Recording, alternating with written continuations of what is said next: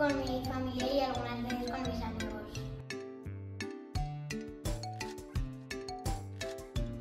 Pues buscamos información, buscamos libros. Y algunas veces también busco películas. Sí, el año pasado en un trabajo natural.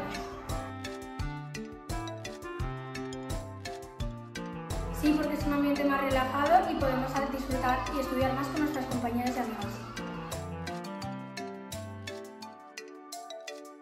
大声唱吧